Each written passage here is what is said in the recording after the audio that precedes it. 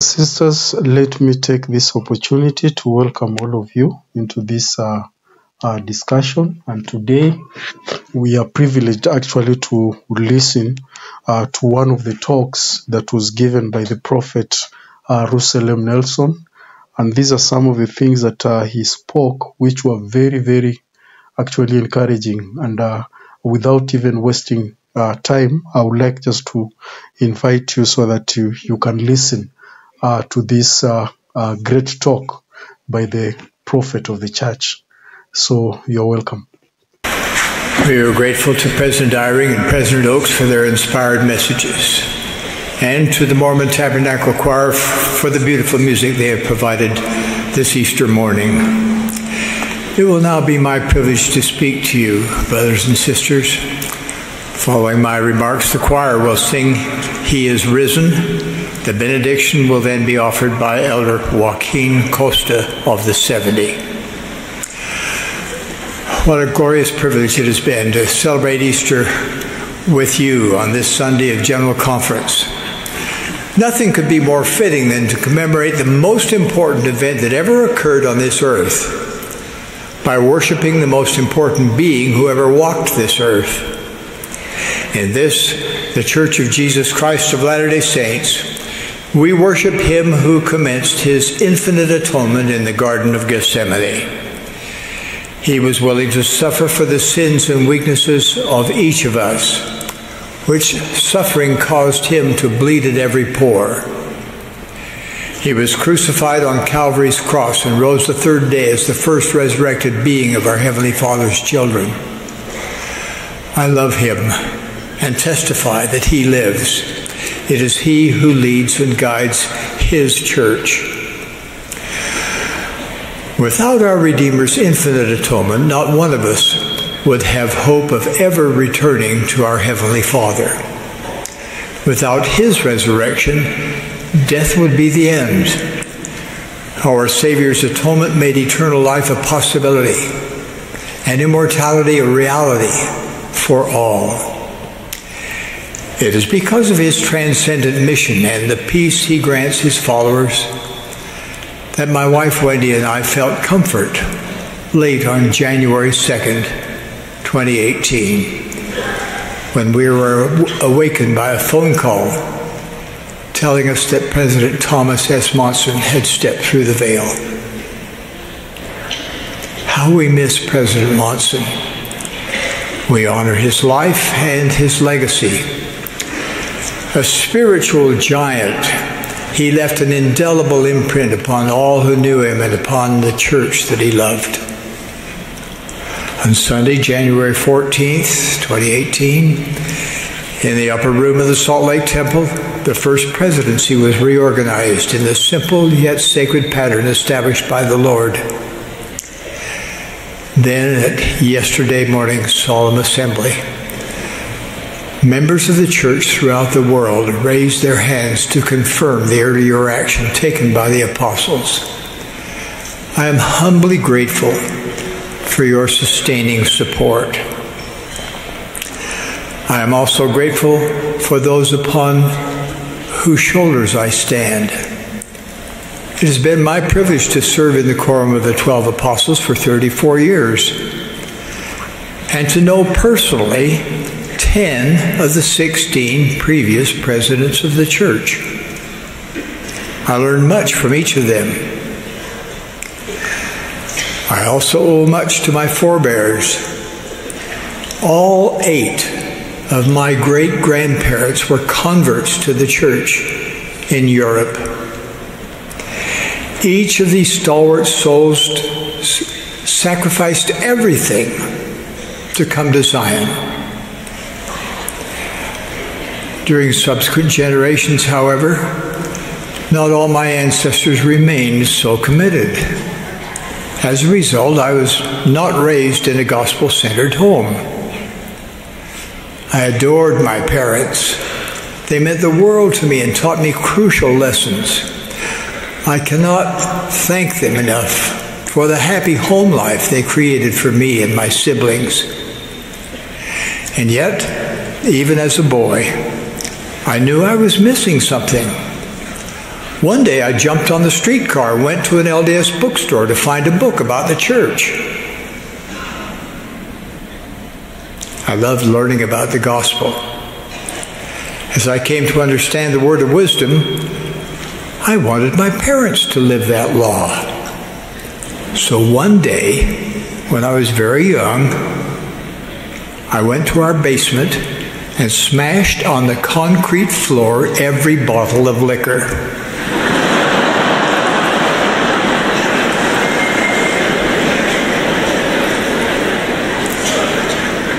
I expected my father to punish me, but he never said a word.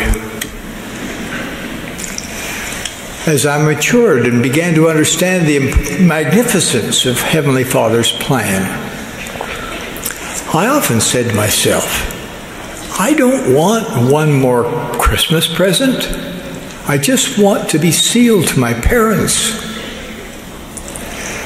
That longed for event did not happen until my parents were past 80. And then it did happen.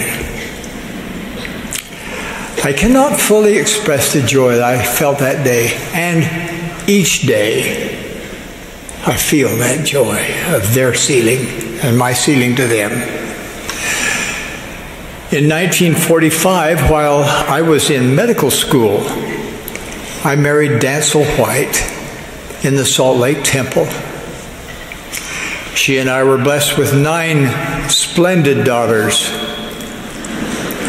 and one precious son. El último. Today, our ever growing family is one of the greatest joys of my life.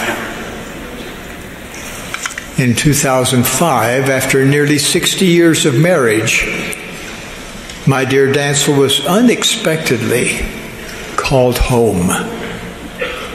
For a season, my grief was almost immobilizing. But the message of Easter and the promise of resurrection sustained me.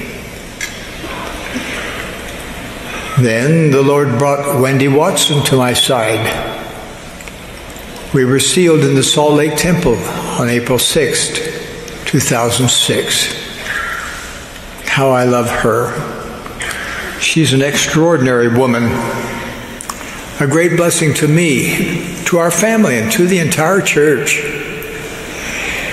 Each of these blessings has come as a result of seeking and heeding the promptings of the Holy Ghost. Said President Lorenzo Snow, this is the grand privilege of every Latter day Saint that it is our right to have the manifestations of the Spirit every day of our lives. End of quote. One of the things the Spirit has repeatedly impressed upon my mind since my new calling as president of the church is how willing the Lord is to reveal his mind and will. The privilege of receiving revelation is one of the greatest gifts of God to his children. Through the manifestations of the Holy Ghost, the Lord will assist us in all our righteous pursuits. I remember in an operating room, I have stood over a patient, unsure how to perform an unprecedented procedure, and experienced the Holy Ghost diagramming the technique in my mind. To strengthen my proposal to Wendy, I said to her, I know how to how, I know about revelation, how to receive it. To her credit, and as I have come to learn, typical of her, she had already sought and received her own revelation about us, which gave her the courage to say, Yes.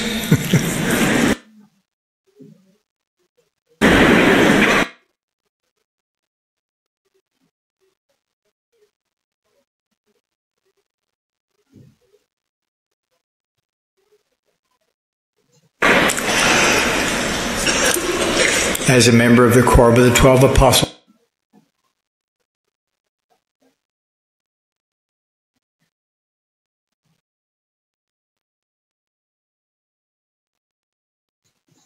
Apostles, I prayed daily for revelation and gave thanks to the Lord every time He spoke to my heart and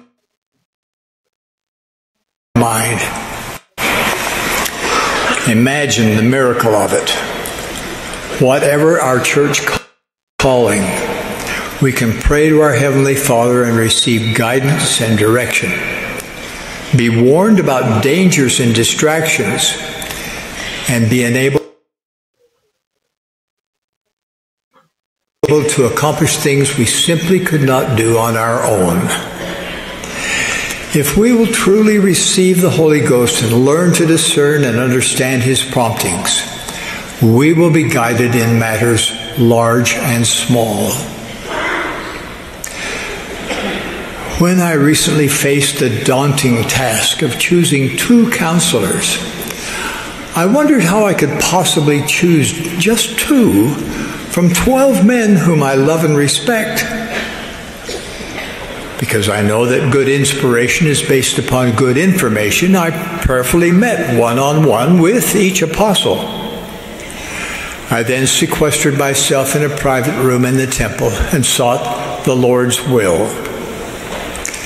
I testify that the Lord instructed me to select President Dallin H. Oaks and President Henry B. Eyring to serve as my counselors in the first presidency.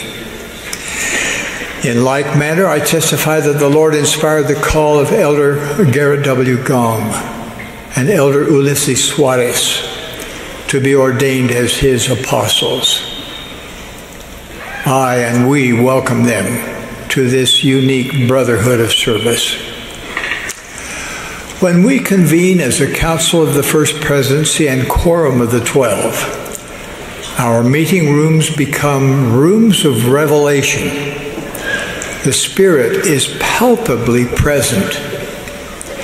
As we wrestle with complex matters, a thrilling process unfolds as each apostle freely expresses his thoughts and point of view. Though we may differ in our initial perspectives, the love we feel for each other is constant. Our unity helps us to discern the Lord's will for His church. In our meetings, the majority never rules. We listen prayerfully to one another and talk with each other until we are united. Then, when we have reached complete accord, the unifying influence of the Holy Ghost is spine tingling. We experience what the prophet Joseph Smith knew when he taught by union of feeling we obtain power with God. No member of the First Presidency or Quorum of the Twelve would ever leave decisions for the Lord's church to his own best judgment.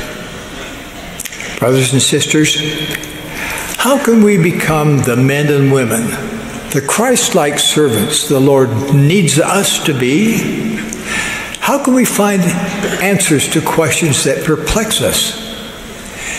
If Joseph Smith's transcendent experience in the sacred grove teaches us anything, it is that the heavens are open and that God speaks to his children. The prophet Joseph Smith set a pattern for us to follow in resolving our questions. Drawn to the promise of James that if we lack wisdom, we may ask of God, the boy Joseph took his question directly to Heavenly Father. He sought personal revelation, and his seeking opened this last dispensation. In like manner, what will your seeking open for you? What wisdom do you lack? What do you feel an urgent need to know or understand? Follow the example of the prophet Joseph. Find a quiet place where you can regularly go. Humble yourself before God. Pour out your heart to your Heavenly Father. Turn to Him for answers and for comfort. Pray in the name of Jesus Christ about your concerns, your fears, your weaknesses. Yes, the very longings of your heart. And then listen. Write the thoughts that come to your mind. Record your feelings and follow through with actions that you are prompted to take. As you repeat this process day after day, month after month, year after year, you will grow into the principle of revelation. Does God really want to speak to you? Yes. As well as might man stretch forth his puny arm to stop the Missouri River in its decreed course, as to hinder the Almighty from pouring down knowledge from heaven upon the heads of the Latter day Saints. You don't have to wonder about what is true. You do not have to wonder whom you can safely trust. Through personal revelation, you can receive your own witness that the Book of Mormon is the Word of God, that Joseph Smith is a prophet of this dispensation, and that this is the Lord's church. Regardless of what others may say or do, no one can ever take away a witness born to your heart and mind about what is true. I urge you to stretch beyond your current spiritual ability to receive personal revelation.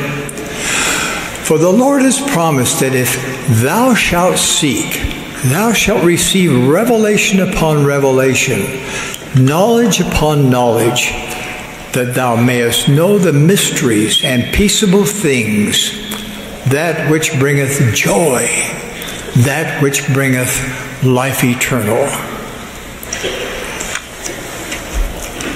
Well, there's so much more that your Father in heaven wants you to know.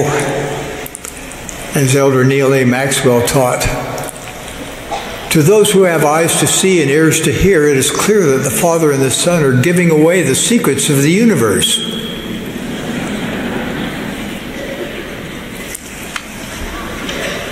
Nothing opens the heavens quite like the combination of increased purity, exact obedience, earnest seeking, daily feasting on the words of Christ in the Book of Mormon, and regular time committed to temple and family history work. Or to be sure, there may be times when you feel as though the heavens are closed. But I promise that as you continue to be obedient, expressing gratitude for every blessing the Lord gives you, and as you patiently honor the Lord's timetable, you will be given the knowledge and understanding you seek. Every blessing the Lord has for you, even miracles, will follow. That is what personal revelation will do for you. I am optimistic about the future. It will be filled with opportunities for each of us to progress, contribute, and take the gospel to every corner of the earth. But I am also not naive about the days ahead. We live in a world that is complex and increasingly contentious. The constant availability of social media and a 24 hour news cycle bombard us with relentless messages. If we are to have any hope of sifting through the myriad of voices and the philosophies of men that attack truth, we must learn to receive revelation. Our Savior and Redeemer Jesus Christ will perform some of his mightiest works between now and when he comes again we will see miraculous indications that God the Father and His Son Jesus Christ preside over this church in majesty and glory. But in coming days, it will not be possible to survive spiritually without the guiding, directing, comforting and constant influence of the Holy Ghost. My beloved brothers and sisters, I plead with you to increase your spiritual capacity to receive revelation. Let this Easter Sunday be a defining moment in your life. Choose to do the spiritual work required to enjoy the gift of the Holy Ghost and hear the voice of the Spirit more frequently and more clearly. With Moroni, I exhort you on this Easter Sabbath to come unto Christ and lay hold upon every good gift, beginning with the gift of the Holy Ghost, which gift can and will change your life. We are followers of Jesus Christ. The most important truth the Holy Ghost will ever witness to you is that Jesus is the Christ, the Son of the living God. He lives. He is our advocate with the Father, our exemplar, and our Redeemer. On this Easter Sunday, we commemorate his atoning sacrifice, his literal resurrection, and his divinity. This is his church, restored through the prophet Joseph Smith. I so testify with my expression of love for each of you. In the sacred name of Jesus Christ, amen. Dear brothers and sisters, that is the talk uh, that was given by uh, the prophet uh, Nelson, and uh, there are quite a number of insights there quite a number of insights there. And uh, he's speaking a lot about we being actually spiritually self reliant. In other words, that we should be able actually to receive our personal revelations uh, regarding truth and as to how the gospel of Jesus Christ is, is all about. And also regarding the teachings that are happening nowadays. And one thing I liked about what he said is that uh, today, especially in this uh, generation, we are living uh, uh, uh in a times whereby uh, it's there's a lot of voices coming from all corners of the earth, and especially through social media. And he says that we need to be very alert, especially in a lot of messages that come up which they tend to attack truth. And when we realize messages like those ones, now that is the time for us to receive our personal revelation, and we should be able actually to discern which is actually truth and which is actually not truth.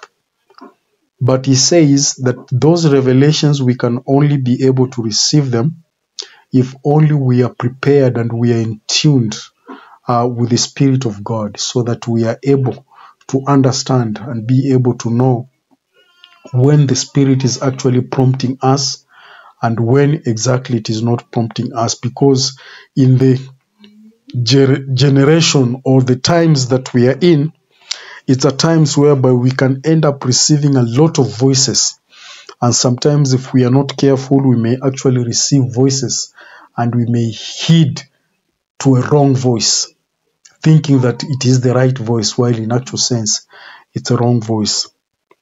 Now, the prophet again said, and uh, this is uh, uh, one of the quotes that uh, uh, Apostle Russell M. Ballard quoted from the prophet, and he was quoting from uh, these teachings. And as the prophet had warned that in the coming days, things are going to be difficult if we are not careful, that we may not actually be able to receive our personal revelation that is right from the from the spirit of god because of what exactly is happening. And he has actually warned especially to the entire world anybody that can listen to this message that the prophet is beseeching you that you need to entune yourself so that you be able to listen uh, from the spirit of god. Because we are living in a time where things are really going to be tough and it will be very difficult uh, for us to listen from the Spirit of God if we are not in tuned.